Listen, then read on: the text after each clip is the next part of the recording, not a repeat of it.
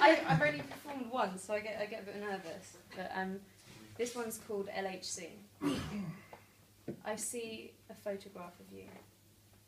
The crease of time-worn paper becomes my own hadron collider, recreating the first moments after our Big Bang. As suddenly the rods and cones refract the seconds in which our universe expanded, then collapsed. We boiled and burned in the aftermath.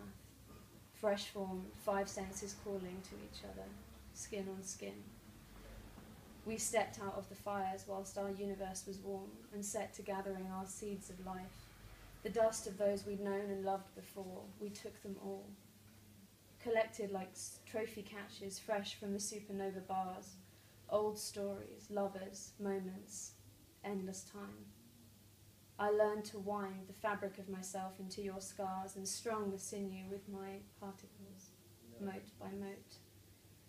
We realigned our secrets, each to other, ghost on ghost, and locked them in. The old lives, anchored in the spin. They were safe in the silt of atoms making up our bed, cached in the blood bone basin at the bottom of your newly form- forming spine, feeding on electrolyte, amino acid carbon copy trial version. Before we could stop ourselves, it came. Love happened. Logical, evolutional solution to our lives, and nothing we could do to slow it. We knew that life accelerates towards love once formed. Love played Higgs boson in this story, but there was no time to read the theory. We were already cast in the collider, floating out together in the dark caress of space. And weightlessness never lasts. In time, we self combusted. The rules of biological engagement broken. Then the dark matter, empty spaces, chemical imbalances, all the unmentionable things we left unspoken when we tore ourselves apart. We learned the physics of our universe like art, calculated the exact forces required to break each other's hearts and leave no trace, no sobs, no afterglow. Just the dust of fading stars and darkness, empty space. I bend the light.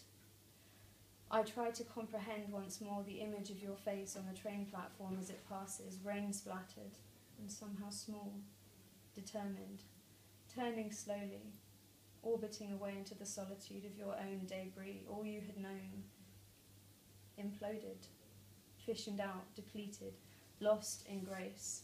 The beauty of your duality no longer a problem for me to solve or balance, nothing to create or circumvent.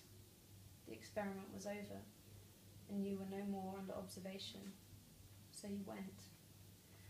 And as it turns out, what we detected in the end was this a lesson in our own private kind of gravity, sacred geometry. Call it what you will. The last equation, writ in sadness, balanced in the symmetry of beauty, equally applicable to all. I loved you, but to fall in love first, you have to fall.